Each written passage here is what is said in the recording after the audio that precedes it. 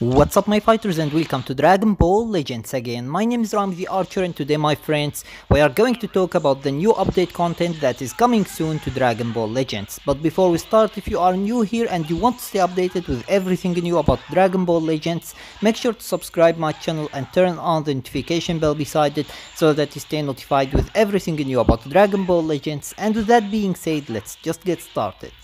So let's start first with guilds. And as you all know, guilds right now are only gathering points and the guild that gathers more points will win and will get actually the most rewards. However, they are now thinking about other ways to make the guild content more and uh, a little bit more satisfying as well because uh, right now just gathering points is nothing actually more than a disappointment and a very boring thing. So they are trying to get more more ways to make the guild content better.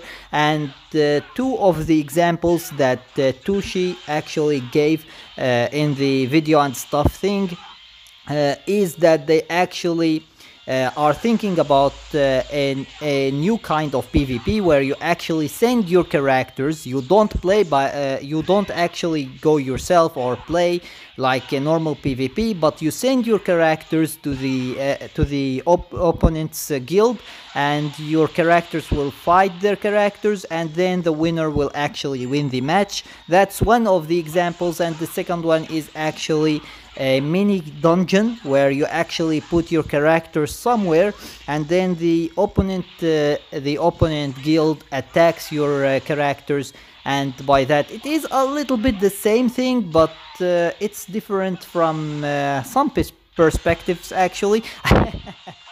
But it is the same way actually uh, where you are going to face your enemy's characters and the winner wins actually the match. So it is really hard to get uh, 60 players to uh, be online at the same time and face each other like uh, a live pvp and that's why they won't be able to do that.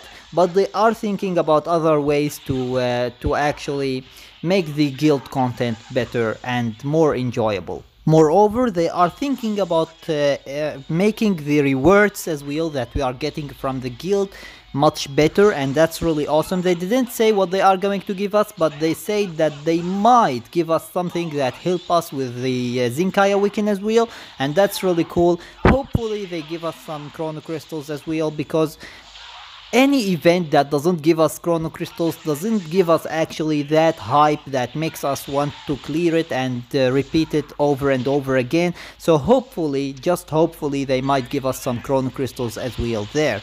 However, they are actually thinking about making uh, the Zenkai Awakening even easier than what it is right now. Yes, it is not crazily easy right now, but it is much easier actually. It uh, it uh, saves uh, half of the time that you are actually that we were wasting on uh, Zenkai awakening our characters to friendship level 10 now you can actually do it half the time and that's really awesome, but they are thinking about uh, other ways that will make it even easier and that's really awesome. However, they are actually thinking about making the rewards overall even better and that's really cool as well. And last but not least, he hinted actually, Toshi hinted about uh, Legends Road for some reason, but even he said actually, I don't know why.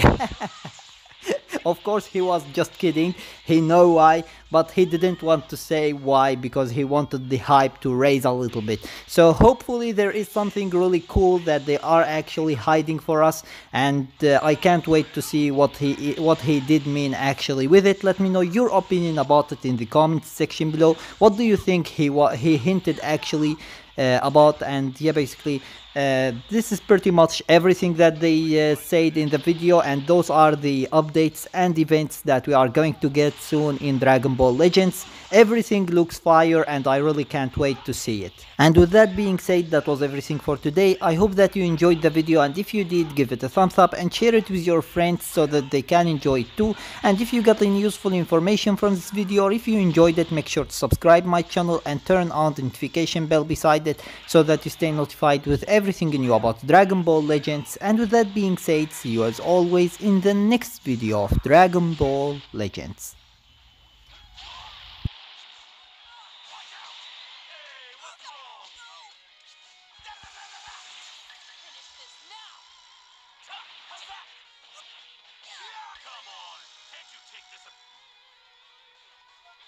It's okay not to be as good as me.